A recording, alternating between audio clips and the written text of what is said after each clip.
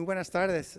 Um, thank you all for coming. They have this huge auditorium, and uh, I, I think I've done this before, but I don't remember when. But in any case, thank you very much for taking the time to, uh, to come this afternoon and be here at NABE. Uh, my is Gene Garcia, and uh, I'm scheduled to start at 1:40, so we'll try to do that because uh, other sessions will follow in uh, appropriate manner, and so we'll go ahead and get going. Uh, I, um, again, am uh, very pleased to, to be here, always at NABE, and to talk a little bit about the work that we're doing, uh, the kinds of things we're finding about bilingualism. Uh, some of you may know that my work is around, uh, really around research and theory related to uh, children who learn more than one language. And I've been at this for quite some time. And as, as you know, if you stay at this long enough, people actually give you an award. And I was, I was uh, pleased to receive the Ramon Santiago Award and, uh, this morning. And, and I think it's probably the longevity. The longer you stay around, uh, the, the more you might get recognized. Not that you do anything important, it's just that you're still around. So, very humbly, um, let me talk a little bit about our work and how it might relate to the kind of work you're doing with uh, bilingual children. Um, I start with the, with the idea that, uh, that there has been a substantive landscape change. Um, some of you know that my work as a researcher is sometimes coupled with work as a policymaker. I had the privilege of going to Washington and working in Washington in the Clinton administration, uh, doing what um, Libby Gil will actually be talking about later after this session. She's now the director of OELA. I was the director of OBEMLA.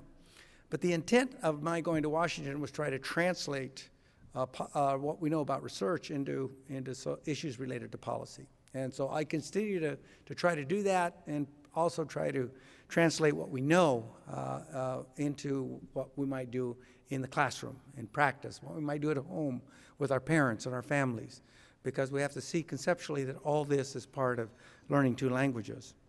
So I'll start with the idea that, that this, this broader set of learning, talking about bilinguals, is not just about language. I think those of us who are trained as psycholinguists uh, were very interested in the developmental aspects of language, linguistic, psycholinguistic aspects, even sociolinguistics. And so what I learned after many years of being in this field that it's not just about language. So I'm going to, so bear with me as I talk about language and being bilingual, but also the other ramifications that relate to those children that we will call uh, bilingual. Um, first, I, I, think I would say that uh, there's been a landscape change in how we deal with uh, bilingual children. Uh, certainly in my earlier work, we tried to identify that bilingualism wasn't a disadvantage. I mean, think of that today and you say, my God, why would we ever start doing research to identify that bilingualism was a disadvantage? We should all know at our gut level that knowing two languages is a pretty good deal. In fact, we spend a lot of money at the university level requiring that everybody learn more than one language. But you got to remember the field began in a very defensive posture. And so our work was around issues related to defending the existence of bilingual kids and that it wasn't a bad idea to have little children, students, and even others who are into their adolescent years learn two languages. So I'm going to talk essentially about that landscape change. We've moved from that deficit notion, that disadvantage notion, and today I want to talk about the benefits of bilingual, because that's the, that's the, that essentially what we're doing now in research. I would say 25 years ago when I began my work, we were defending bilingualism. Today, we're trying to identify all the multiple benefits of bilingualism. So it's an interesting landscape change. Now, what helped in that landscape change was several things. One, the actual demography. In our work, we look at how, about how many babies are born in the United States uh, whose moms speak a language other than English. Well, in 2013, the, the Center for Disease Control actually counts how many births there are in this country and has an identifying set of characteristics. In 2013, 27% of babies born in the United States were born to mothers who did not speak English as their primary language. Guess what? Those kids are going to be bilingual. Okay, they're going to be bilingual. They're born in the United States. By the way, they're U.S. citizens. They're exposed a, to a very important, critical person in language development called mom. All right? And guess what mom's going to speak to that baby? don't speak her language. He's going to put, her, put them in an environment in which that language is also spoken, and they're going to be exposed to English. Can't help it.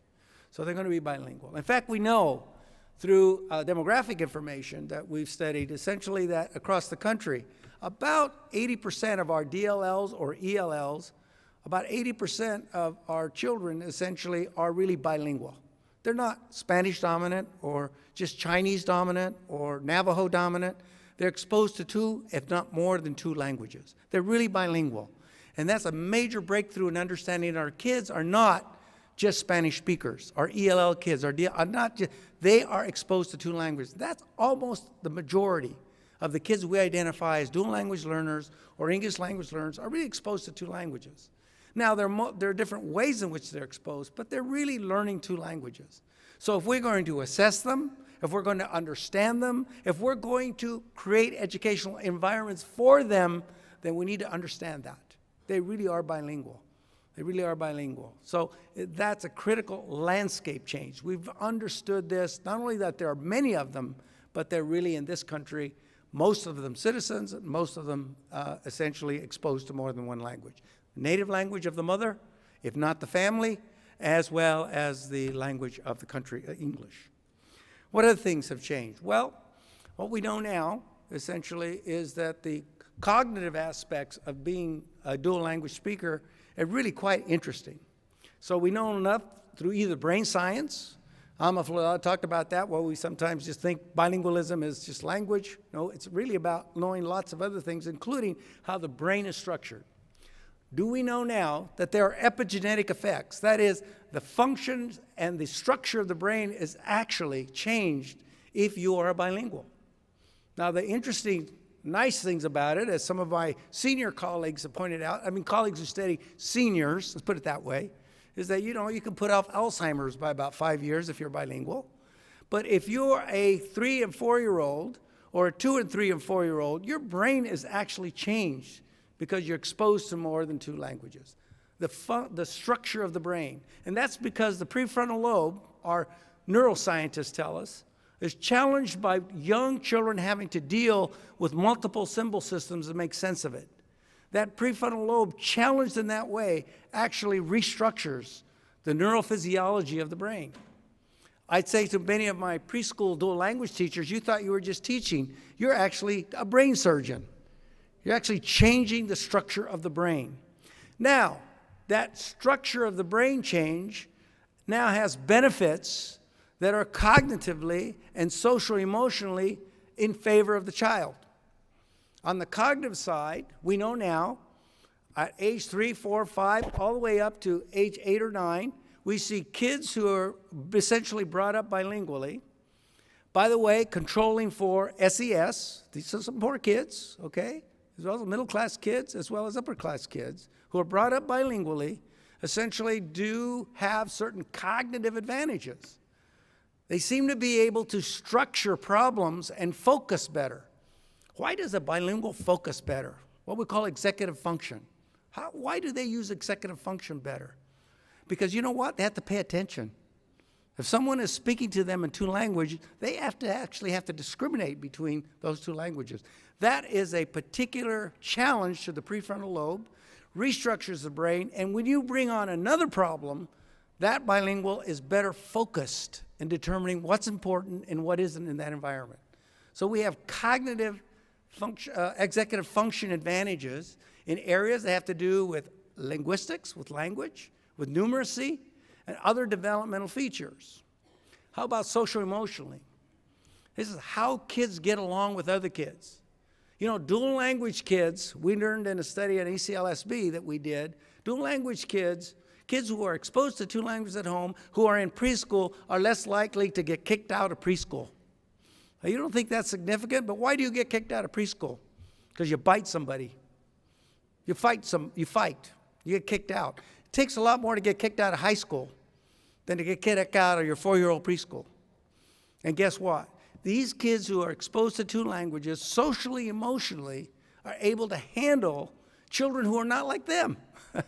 put up with them, put up with teachers, put up with the environment that essentially challenges them to recognize differences and to adapt in those social emotional environments. Is bilingualism a benefit to those children, to those students? Absolutely. We know that now. We know that now, social, emotionally. So we have these benefits. Now, what else has changed our notion? I talked about the research.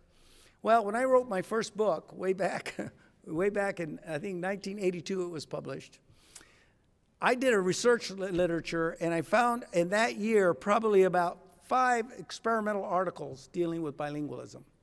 And I was at, I was at Harvard. I went to the finest libraries.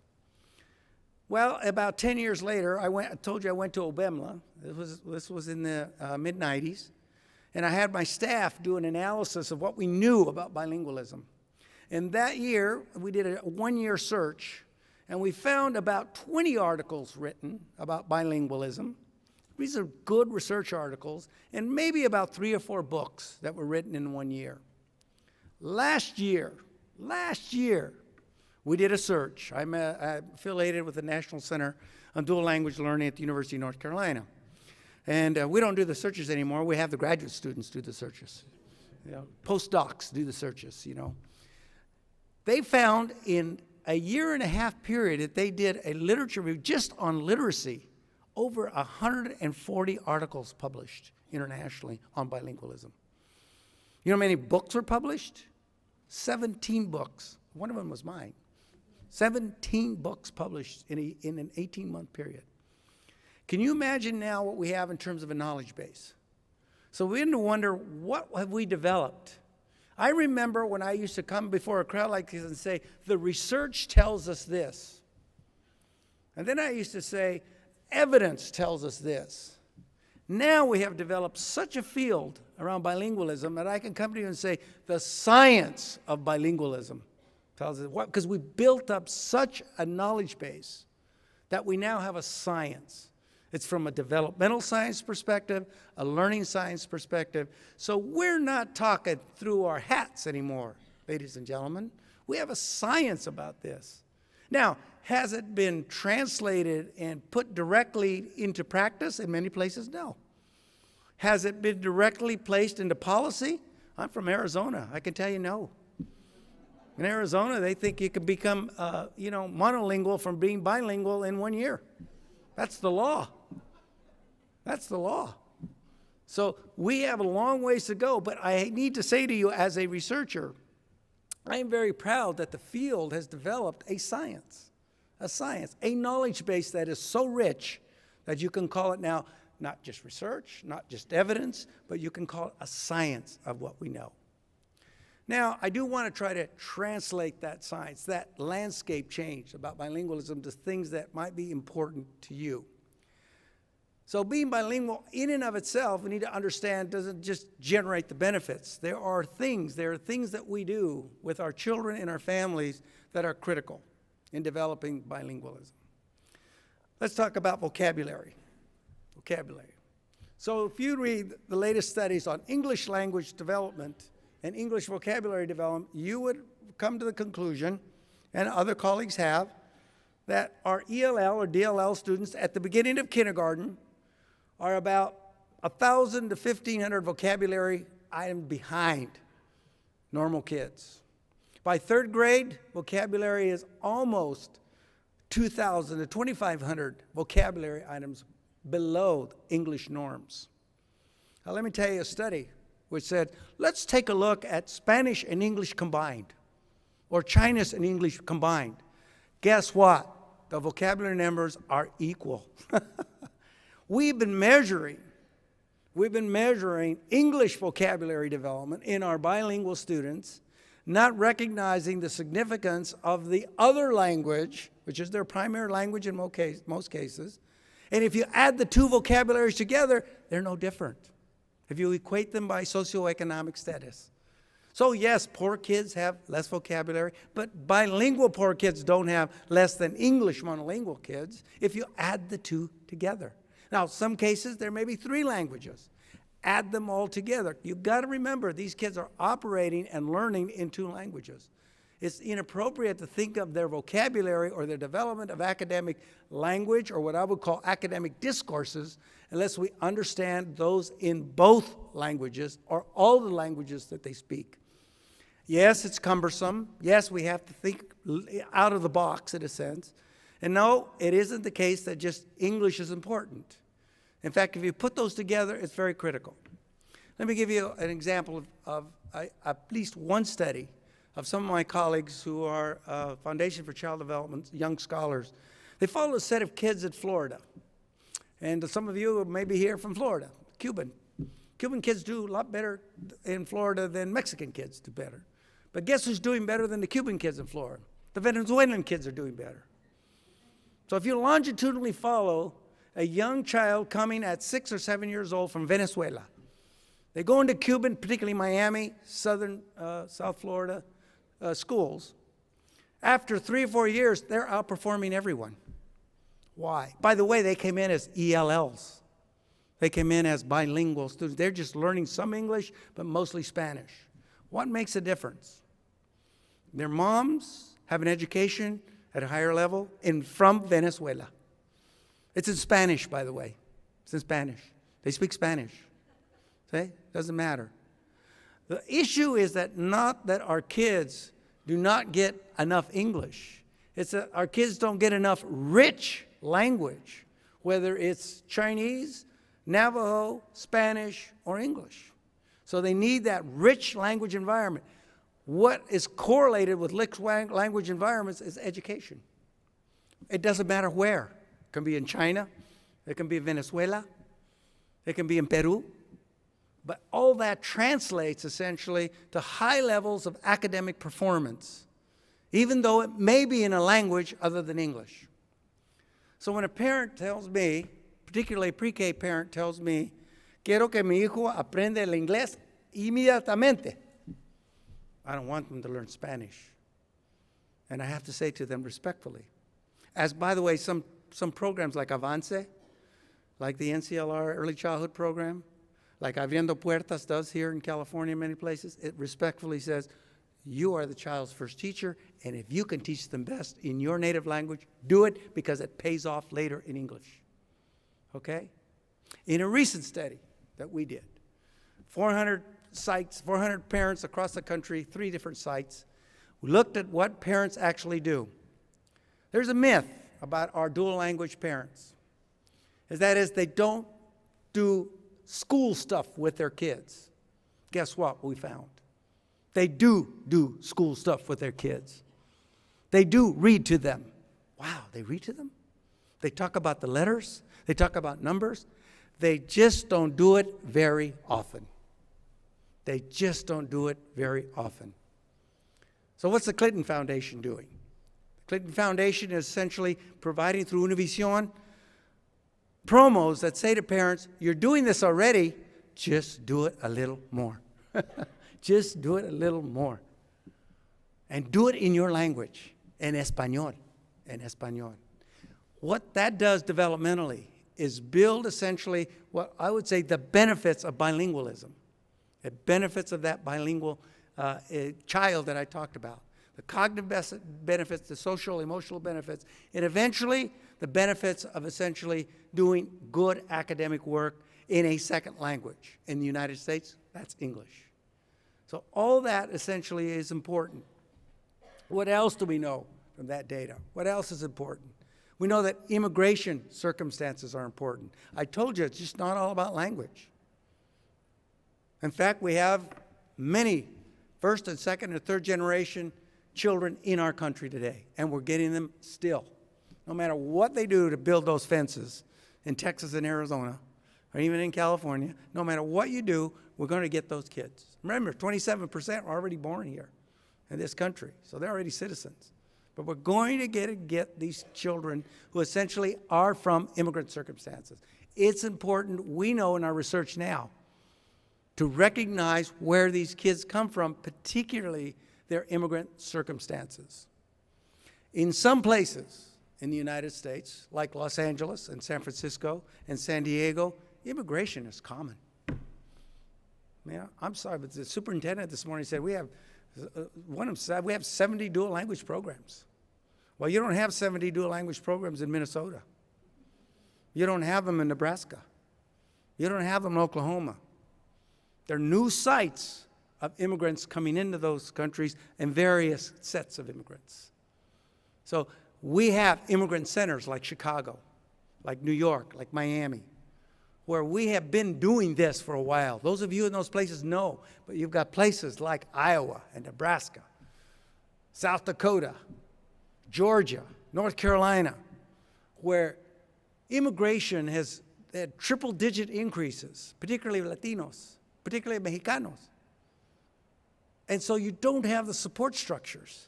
You don't have all the stuff parents and families may need. Now, some of you are building those in these immigrant, new immigrant centers. Some of them of you have got have established. I mean, San Diego has so much immigrant support; it's amazing. There's won prizes for it. It's what we call immigrant, immigrant integration. These kids who are living in immigrant circumstances are essentially living in circumstances that are critical to their education, their learning of bilingualism, and essentially, eventually, how they do in school.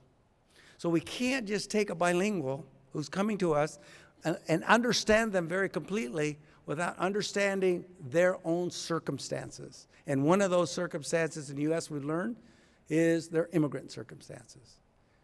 First and second generation kids, that means they're born in the United States, but they have parents who are here, came from outside the United States, either first generation or been there second generation. Kids are citizens. Most of the kids, most of the students in the United States are in our dual language programs or bilingual programs are U.S. citizens. Most of them are, about over 80%. The younger you go, the more. Under five years of age, 93% of the kids are U.S. citizens. They're born in the U.S. They're not brought across the border.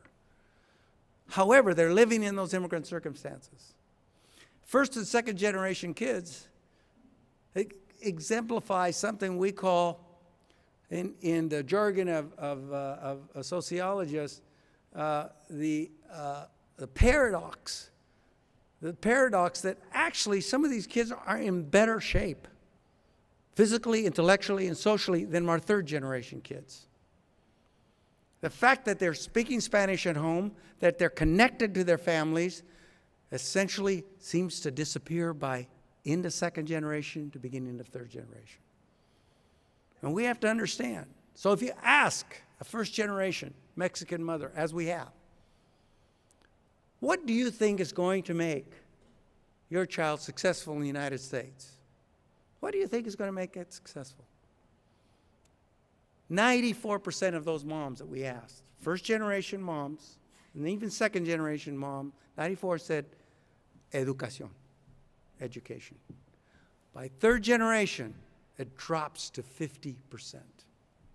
Okay? It's no longer the schools. They don't trust you. They don't trust us. They've been through the schools. As schools haven't served them well, it passes on to their kids. This where you get this disjunction, this, this, this mis, uh, mismatch between what can actually support language development, cognitive development in the home, if in fact we want essentially this coupling of school and family and home and community. And that coupling by third generation seems to be gone.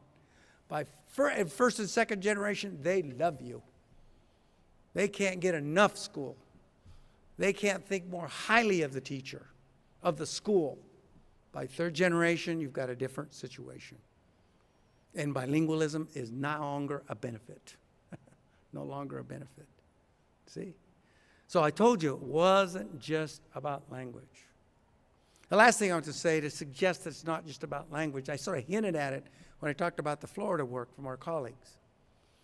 And that is that essentially poverty, as Alma Flor Ada talked about this morning, poverty is clearly a powerful phenomenon, powerful variable in influencing bilingual development. Access to poverty situation, uh, poverty, living in poverty situation affects lots of things, including language and literacy development.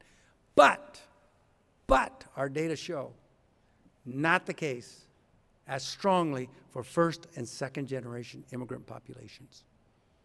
It is not poverty that predicts their development of two languages. It is not poverty that solely predicts that. It is the educational capital that is available to those children. So, some of you know, many of our immigrant populations come to the United States. They start their own businesses. They're entrepreneurs. Our business community will tell you that. They're entrepreneurs. Whether it's a restaurant or whether it's mowing your lawn or whatever, building that fireplace, they work hard. Work is not a problem. Uh, if you compare essentially the educational capital of those kids in those families, that actually income is pretty good. Median family income might be 50, 60,000 a year. But the educational capital available to those children in that home is probably a mother with less than an eighth grade education, a father with a ninth grade number of years of education. You compare socioeconomically to a parent who may be only making 30 or 40,000 but has a high school education, you get a jump in academic performance and bilingual development.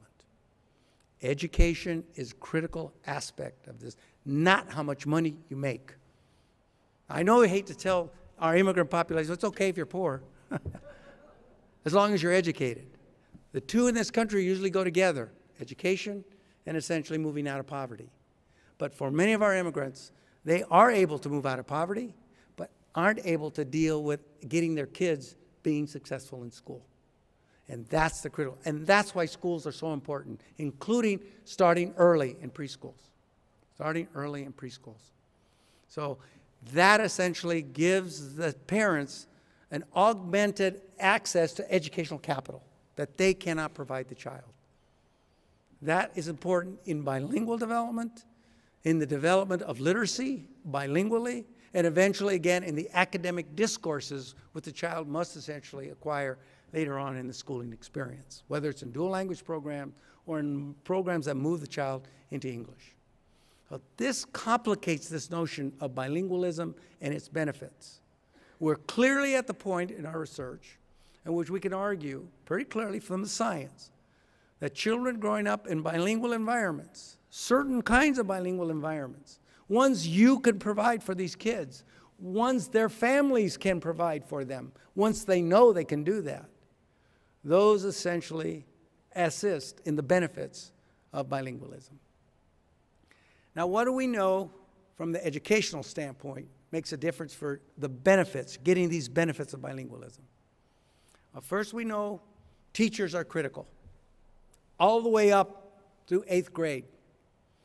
We lose that effect, by the way, in middle school and high school.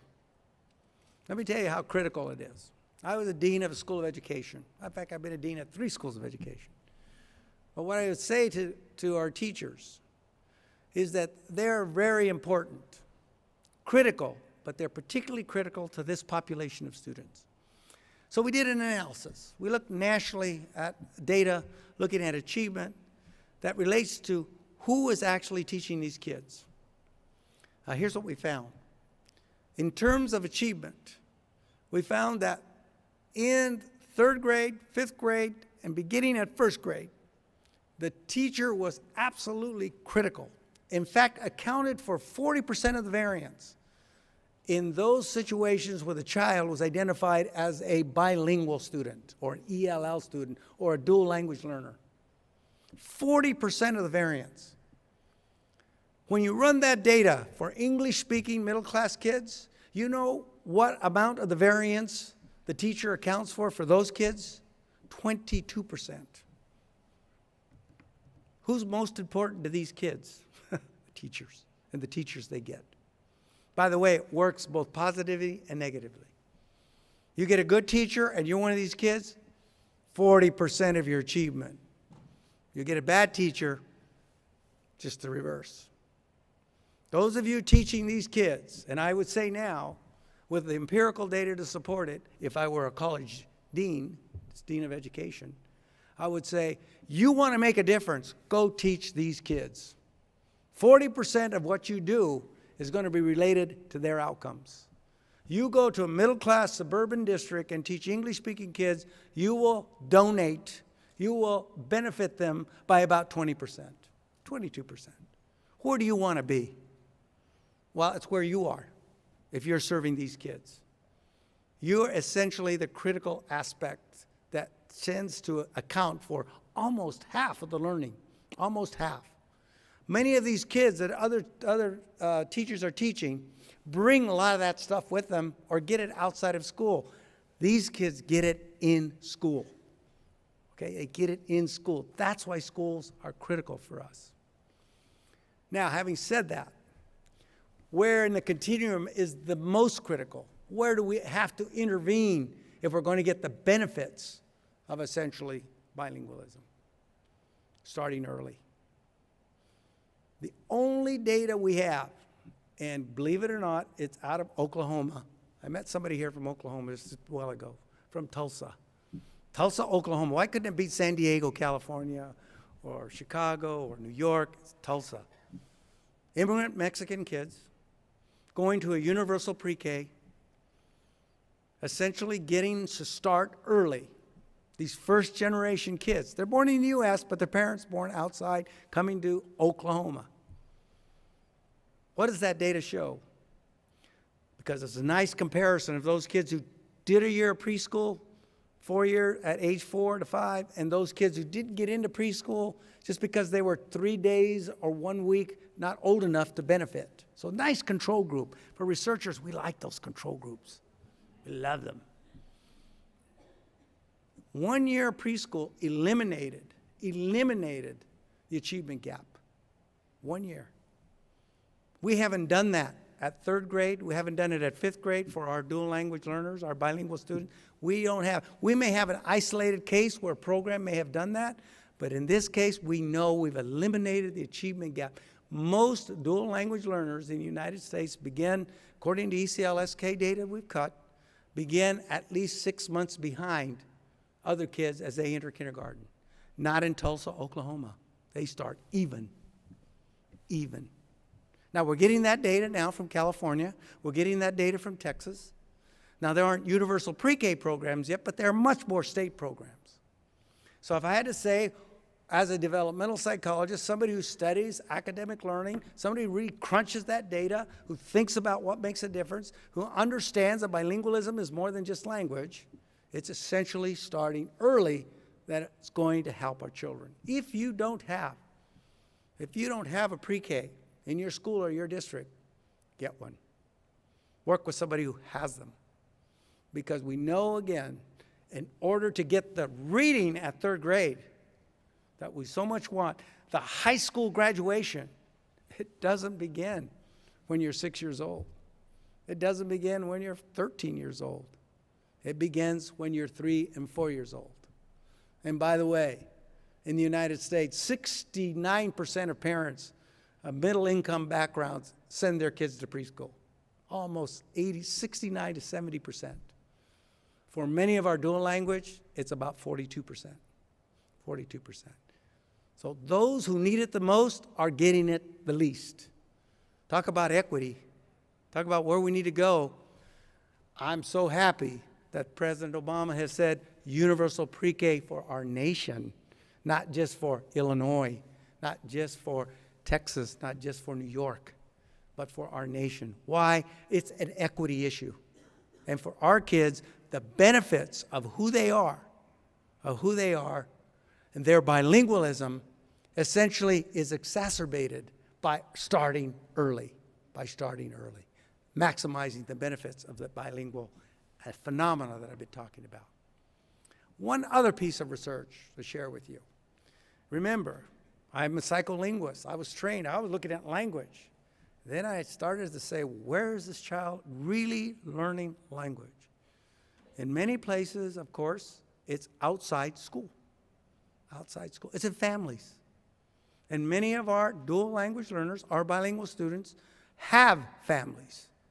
Not only do they have families, they're three times more likely to have extended families, more than two adults living in the home. A good developmental perspective. It's crowded, don't get me wrong. Homes with more than two adults are crowded, but that means there are more adults watching out for those kids, talking to those kids, right? Challenging those kids and making sure they stay out of trouble, too.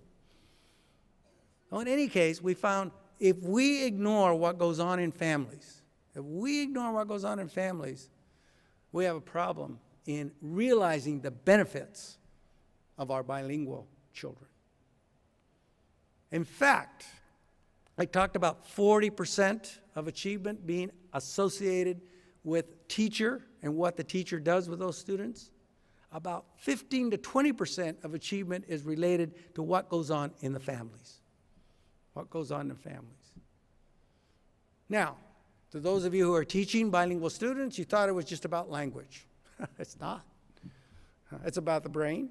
I told you, it's about the brain. It's about understanding immigrants and those immigrant circumstances, and it's also about understanding the families of these children. Unless your curriculum, unless your instruction, unless how you think of the world essentially does not include those variables, if all you're worried about is language, good luck. Good luck. Because you could take 40%, but what about the others? What about the others? Critical. The last thing I'll say is curriculum and experiences that build on the child's language and culture. Does the child see themselves in what it is you are trying to teach? Alma spoke about it much more uh, appropriately than I got. You cannot teach a child without recognizing where they come from. And the child will not learn as well if your own experiences and what you present does not reflect who they are.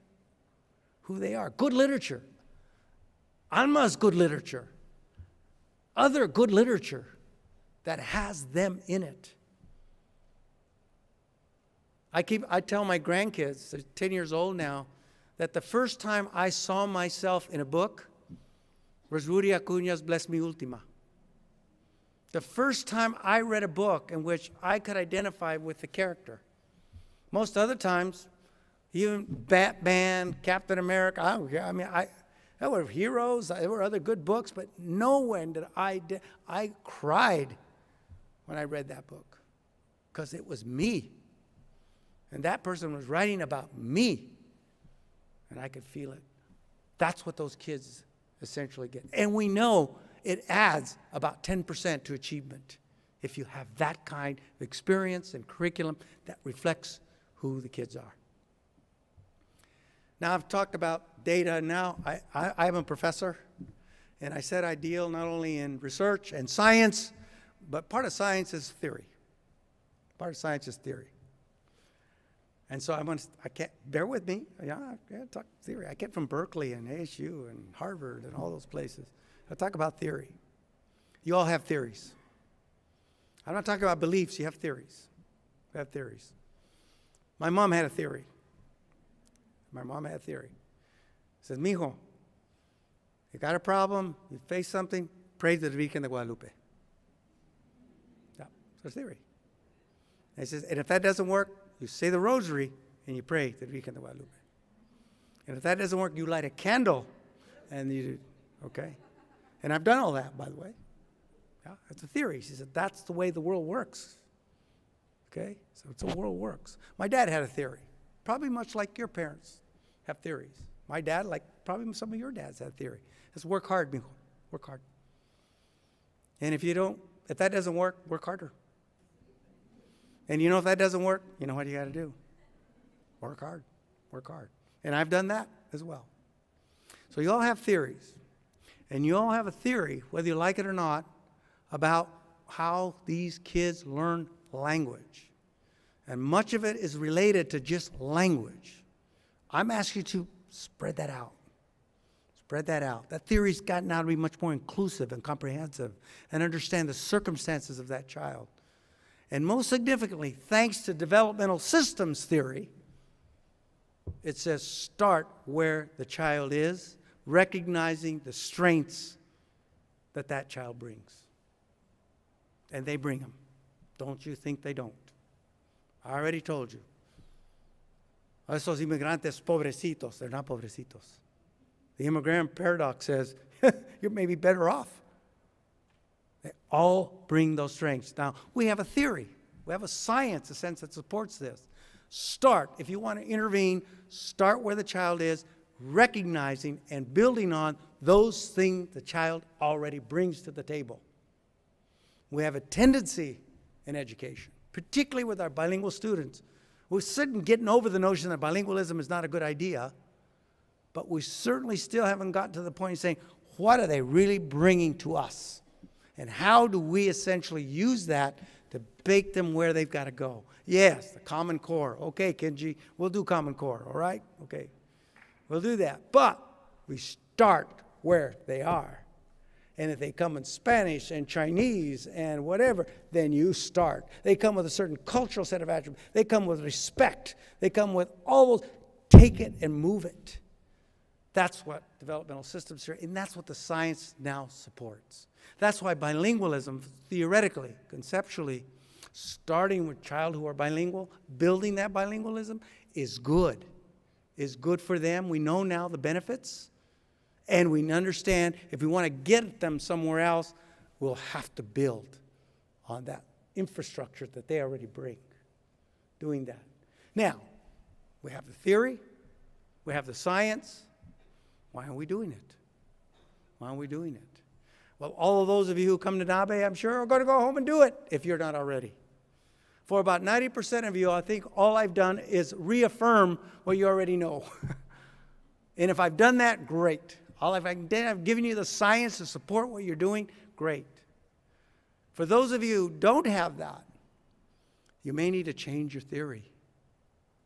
You need to change your theory because we aren't going to change your adult behavior until you have changed the theory in your head. So what I've hopefully, if you don't have that already, is I mess with your mind a little bit. Because that's what you got to do. It's not just about giving you some skills. Go out and do interactive journals. Go out and do cooperative learning. Those things do work, no doubt about it. We know that. We've got the, the science to support that for bilingual kids, absolutely. But you got to start essentially with the intellectual notions of what is it that I understand this development and this teaching to be about. And unfortunately, you organize your instructional strategies, your lessons, your classroom based on those theories. And those of you are going to say, well, I'm not sure I have any theories. You have them. Examine them.